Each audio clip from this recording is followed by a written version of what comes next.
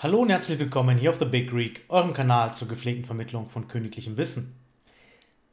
Beim Legends of Chess ist die Vorrunde abgeschlossen und es wird Zeit, mal wieder einen Blick auf eine Partie von Magnus Carlsen zu werfen. Der Weltmeister beherrschte bislang das Geschehen fast nach Belieben. Er gewann alle neun Matches in der Vorrunde. Zehn Spieler nehmen ja teil in diesem Schnellschachturnier der Extraklasse, das zur äh, mit einer Million Dollar dotierten Magnus Carlsen Tour gehört. Das ist die vierte Etappe dieses Legends of Chess. Ähm, vier Spieler haben sich nach der Vorrunde jetzt für das Halbfinale qualifiziert.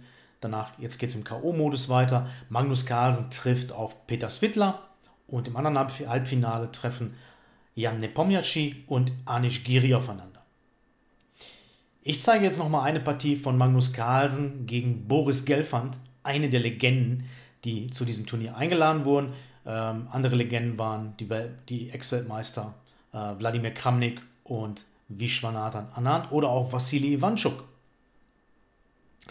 Im Endeffekt hat es keine der Legenden ins Halbfinale geschafft. Ähm, und wir schauen jetzt, wie gesagt, nochmal auf eine Partie von Magnus Carlsen. Er hat wirklich viele tolle Partien gespielt und äh, die folgende hat mich auch beeindruckt aus einem ganz bestimmten Grund. Wir gehen jetzt mal rein. Das ist die erste Partie in seinem, aus seinem Match gegen Boris Gelfand. Carlsen beginnt mit Weiß und startet mit E4. C5, sizilianische Verteidigung, Springer F3, Springer C6, D4, C schlicht D4, Springer schlicht D4, Springer F6, Springer C3, E5. Die Schweschnikow-Variante. Eine sehr beliebte Variante und erlebte so ein bisschen eine Renaissance durch Magnus Carlsen, den Weltmeister. Denn das war seine Hauptwaffe 2018 bei der WM gegen Fabiano Caruana. Und er war sehr erfolgreich damit, damals bei der WM und auch im Nachhinein in den ja, Jahren danach. Insbesondere im Jahr 2019 spielte er noch sehr viele Partien Schweschnikow und er gewann sehr, sehr viele Partien äh, damit. Eine sehr hohe Erfolgsquote. Hier spielt er aber jetzt mit Weiß. Springer DB5, das ist der Hauptzug. Weiß liebäugelt hier mit Springer D6. Das, das Feld ist ja geschwächt worden durch diesen Bauern auf E5. D6, Schwarz verhindert das. So, der Hauptzug hier ist Läufer G5. Aber während der WM spielte Fabiano Caruana mehrmals Springer D5 hier äh, gegen Magnus Carlsen. Und auch hinterher wurde diese Variante äh, sehr viel diskutiert ähm, auf Großmeisterebene. Springer D5, Weiß, ist ein sehr direkter Ansatz hier äh, zu spielen. Ähm, Weiß missachtet hier so ein bisschen die goldenen Regeln, ähm, entwickelt keine weitere Figur, aber er stellt eine Drohung auf mit diesem Zug, und zwar Springer C7 hier. Ne? Ähm, das kann Schwarz natürlich nicht zulassen und deswegen muss man nehmen auf D5 diesen Springer. Jetzt nimmt, natürlich, jetzt nimmt man natürlich mit dem Bauern hier E schlicht D5. Und jetzt muss der Springer weg. Weiß gewinnt also ein bisschen Zeit, ähm, die er vorher verloren hatte durch den weiteren Springerzug. Der Hauptzug hier ist Springer B8, da spielte auch Carlsen bei, äh, während der WM gegen Caruana, aber hinterher konzentrierte er sich eher auf Springer E7 im weiteren Verlauf des Matches und auch in weiteren Partien, die er im klassischen Schach im Jahr 2019 gespielt hat. Springer E7. Da spielt jetzt hier auch Gelfand. Gelfand spielt ja hier mit Schwarz. Nicht durcheinander kommen. Carlsen spielt mit Weiß. Gelfand mit Schwarz. Gelfand übrigens WM-Finalist 2012 gegen Viswanathan Anand. Also ein sehr, sehr starker Großmeister. Hier geht es weiter mit C4 und wir sehen eine Transformation der Bauernstruktur. Ähm, Weiß hat hier eine Mehrheit ähm, am Damenflügel, während Schwarz auf dem anderen Flügel eine Mehrheit hat. Das ist hier auch ein bisschen tonangebend und gibt auch so ein bisschen die Pläne vor für die Zukunft. Springer G6 macht den Weg frei für den Läufer. Und jetzt geht es sehr konkret weiter hier. Sehr konkrete Schach. Dame A4. Ähm, goldene Regeln spielen hier echt kaum eine Rolle. Ähm, Dame A4 bringt die Dame früh ins Spiel, droht ein Springerabzug äh, nach C7 mit Gewinn des Turmes beziehungsweise Minimum die Quali der Qualität. Das muss Schwarz verhindern mit Läufer D7, blockiert hier den Weg, die Diagonale.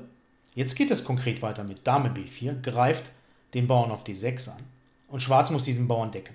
Gelfand wählt hier Dame B8, deckt diesen Bauern. Äh, Carlsen selbst hat hier mehrmals in der Vergangenheit Läufer F5 gespielt mit Schwarz und den Bauern so gedeckt. Zum Beispiel auch gegen Fabiano Caruana in einer der Schnellschachpartien, meine ich, ähm, im Tiebreak, der dann letztendlich über die WM entschied.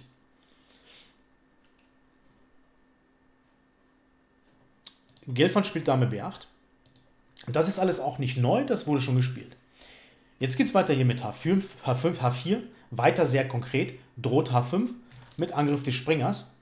Das stoppt Schwarz mit dem H-Bauen. Und wir sehen ja auch sehr ungewöhnliche äh, Konstellationen. Ne? Ähm, auch dass die H-Bauern jetzt ziehen, bedeutet natürlich auch eine Schwächung des Königsflügels, äh, wenn die Könige rochieren. Carlsen wählte jetzt Läufer E3. Der schaut hier in diese Richtung. Ähm, in den meisten Partien in der Vergangenheit wurde hier A6 gespielt, um den Springer direkt zu vertreiben. So spielte auch äh, Carlsen selbst auch äh, zwei Partien, eine gegen Caruana bei der WM und auch ähm, gegen Jordan von Forest in Weikernsee 2019. Gelfand allerdings hatte was anderes vorbereitet. Er zog hier B6. Hm, das gefällt dem Computer nicht unbedingt, aber für so eine Schnellschachpartie kann man natürlich auch mal äh, Wege gehen, die der Gegner nicht erwartet. Carlsen reagierte mit Läufer E2, entwickelt den Läufer, attackiert auch diesen Bauern hier. Schwarz entwickelt den eigenen Läufer hier. Jetzt ist dieser Bauer zweimal angegriffen, Weiß kann diesen Bauern aber decken. So, der Unterschied jetzt hier in dieser Bauernstruktur ist, Weiß hat eine schöne Bauernkette mit F2, G3, H4. Insbesondere auch der H4 ist ähm, gut geschützt. Schwarz dagegen kann kein G6 spielen, weil der Springer dort steht. Und der H5 ist natürlich dadurch ähm, schutzbedürftig. Das ist ein kleiner Unterschied hier. Es ging weiter mit A6, greift den Springer an. Der Springer zieht zurück. Und jetzt B5. Das war wahrscheinlich alles noch Vorbereitung bei Gelfand. B5 ist auch der Zug, den der Computer angibt. C schlägt B5, A schlägt B5.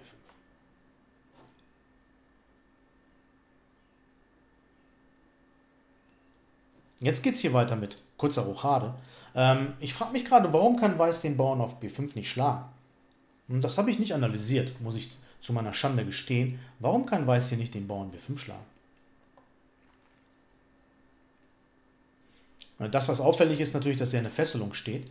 Ähm, ich mache mal kurz die Engine an, was ich normalerweise nicht mache während meiner äh, Analysen.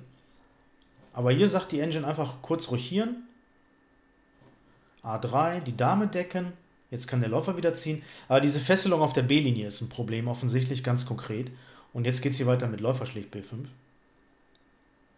Springer schlägt B5 und F5 und äh, Schwarz generiert Gegenspiel auf der anderen Seite des Brettes mit der Idee F4 hier äh, die Struktur angreifen. Den Läufer und den Bauern. Ne? Sehr interessant. Okay. Das ist diesen Spitzenspielern natürlich alles bekannt, beziehungsweise sie kennen diese Motive, weil sie natürlich ähm, diese Eröffnungsvarianten sehr tief analysiert haben. Carlsen nahm nicht den Bauern, er zog kurze Rochade und brachte den König in Sicherheit.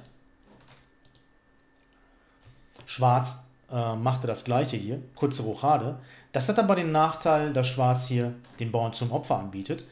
Ähm, ich vermute mal, wenn Schwarzspieler, die Schweschnikow spielen, in Zukunft diese Variante wiederholen, dann werden sie hier wahrscheinlich mit F5 angetanzt kommen. Die Idee ist, F4 zu spielen und ähm, Gegenspiel am anderen Flügel, am Königsflügel zu generieren, offensichtlich. Gut, aber Gelfand spielte kurze Rochade und hier rechnete Carlsen sehr, sehr gut und nahm den Bauern nach V5. Er sagte sich nur, den kann ich nehmen. Ich sehe jetzt nicht, warum Schwarz, äh, warum ich den nicht nehmen sollte. Und ja, es ist auch völlig korrekt. Läufer schlichter 5 ist möglich. Jetzt kam Läufer D8. Eine interessante Idee. Ähm, eine Möglichkeit ist, äh, der Erklärung ist, den Springer über E7 eventuell umzugruppieren nach F5 ähm, oder Läufer A5 zu spielen mit Angriff auf Dame und, und Springer. Carlsen reagiert aber sehr, sehr stark. Spielt hier Springer E4, greift den Bauern D6 an. Das ist auch der beste Zug. Und hier griff ähm, Gelfand fehl. Er spielte Läufer F5. Hm, er verrechnete sich hier, beziehungsweise Carlsen rechnete besser. Der beste Zug hier ist laut Stockfisch einfach Turm A6 und den Bauern decken erstmal, den Bauern nicht opfern.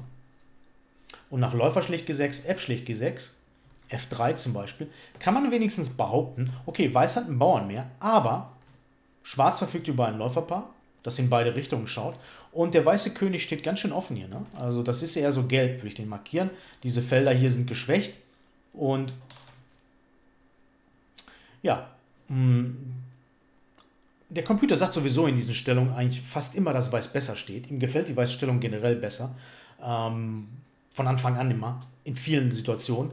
Äh, Carlsen hat aber bewiesen, in seinen Partien, in seinen klassischen Partien, dass Schwarz über sehr viel Gegenspiel verfügt.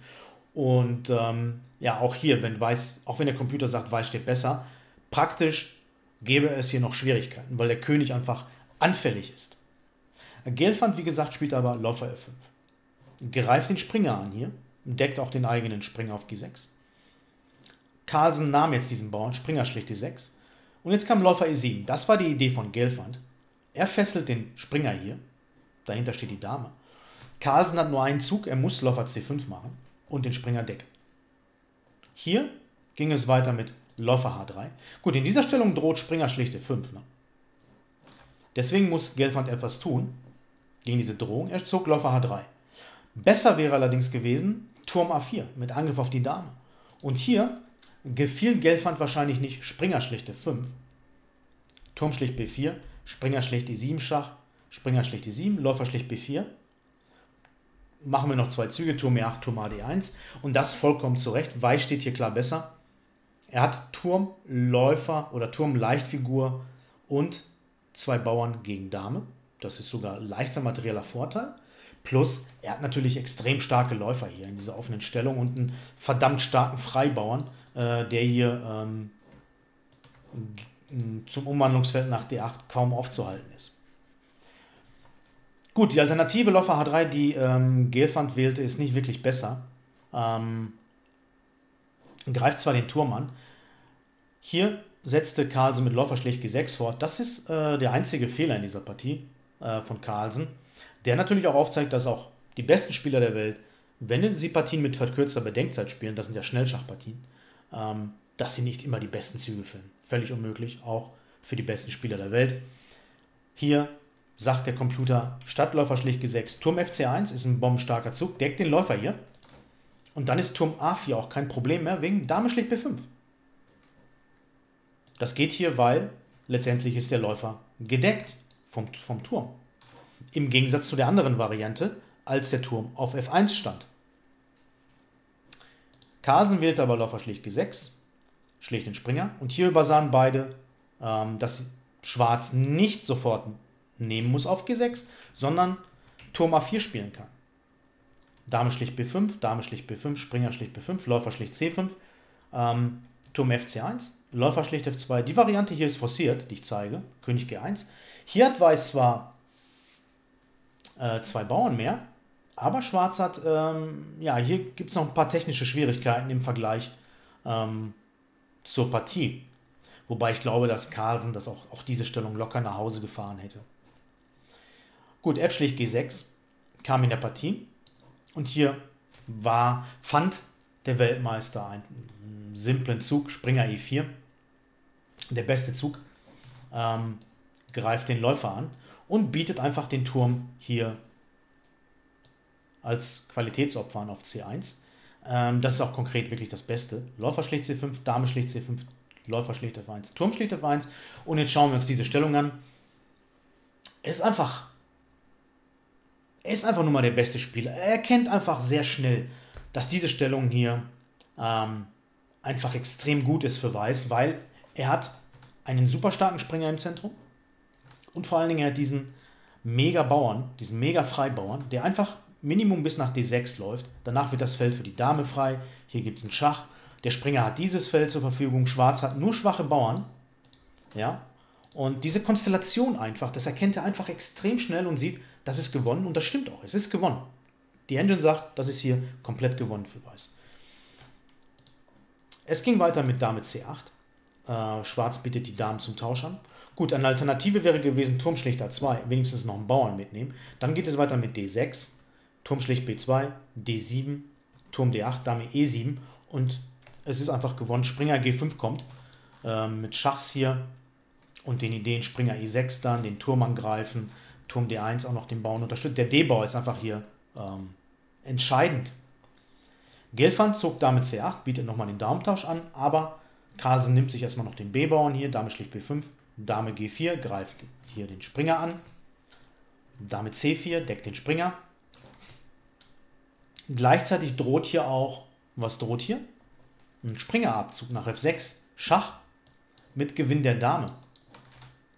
Deswegen, was heißt deswegen? Es kam Turm F4, greift den Springer an, der Bauer hier ist gefesselt natürlich.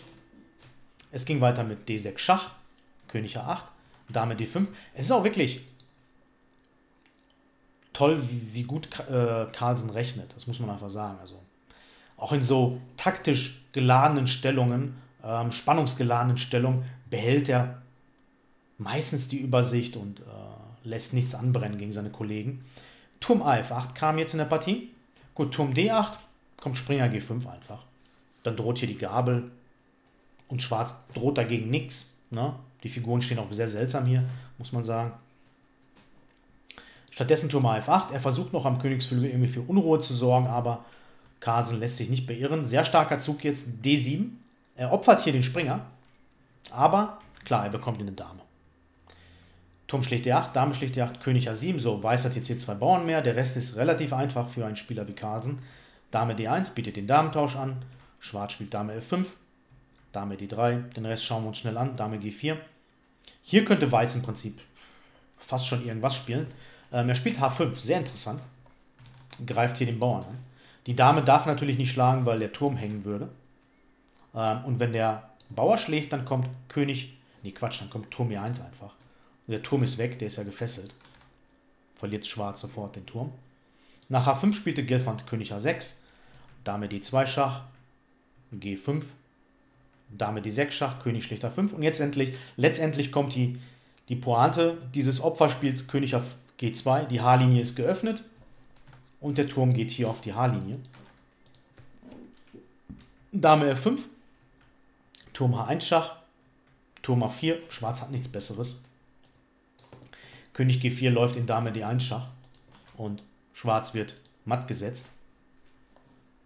Turm A1, Turm A4 und hier spielte Weiß noch sehr genau Dame D1 Schach zuerst, bevor er den Turm genommen hätte, wenn Schwarz weitergespielt hätte. Ähm, hier gab Gelfand auf. In völlig aussichtsloser Situation, egal was er macht. Ähm, Im nächsten Zug oder in einem der nächsten Züge wird Weiß hier den Turm auch noch schlagen. Ja, eine beeindruckende Vorstellung von äh, Magnus Carlsen, dem Weltmeister, der zeigt, warum er der beste Spieler der Welt ist. Das ist eine typische Partie, wo man sieht, warum er der beste Spieler der Welt ist. Mit Schwarz brilliert er mit Schweschnikow, gewinnt fast jede Partie, die er in den letzten zwei Jahren gespielt hat ähm, und dann spielt er es auch mit Weismar ne? und der Gegner hat keine Chance. Ne? Und der Gegner ist nicht irgendjemand, das ist ein starker Großmeister und er hat einfach keine Chance. Ne? Er, er, versteht diese Variante, also Carlsen versteht dieses System, diese Variante mit Weiß, mit Schwarz, aber auch mit Weiß. Das ist ein Zeichen, das ist ein richtiges Gütesiegel äh, für einen Schachspieler. Wenn man eine Variante mit beiden Farben gleich stark spielt und ähm, egal gegen wen man spielt, irgendwie jedem eine Ohrfeige verpasst. Aber sowas von. Ja, ich hoffe, die Partie hat euch gefallen. Ähm, heute geht es weiter mit dem Halbfinale beim Legends of Chess. Ich denke, das war ein schöner Aufgalopp für euch, falls ihr das Turnier verfolgt. Ähm, wie ich schon erwähnte, Magnus Carlsen trifft auf Peter Swittler im Halbfinale, während Anish Giri und Jan Nepomniachtchi im anderen Halbfinale aufeinandertreffen. Ich denke, ich werde bis zum Ende des Turniers, es läuft bis zum 5. August, noch die eine oder andere Partie für diesen Kanal analysieren. Vielen Dank fürs Zuschauen und ich hoffe, wir sehen uns hier bald wieder.